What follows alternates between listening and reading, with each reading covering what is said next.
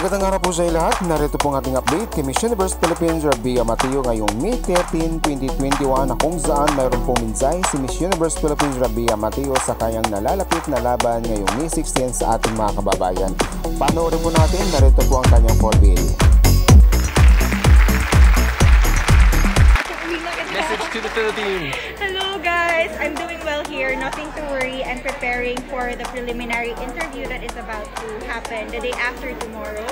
And then we're, go- we're gonna have our national costume after. Oh, cool. I really need to have that winning mindset from now on. Amen. Mahal ko kayong lahat. Laban. Ang dami ko nang sinabi, sorry. That's okay. Take care. Bye, Bang! Good luck, good luck. Maraming salamat po sa inyong panonood. Ako po inyong lingkod, Kodander TV. Don't forget to subscribe my YouTube channel. Maraming salamat po.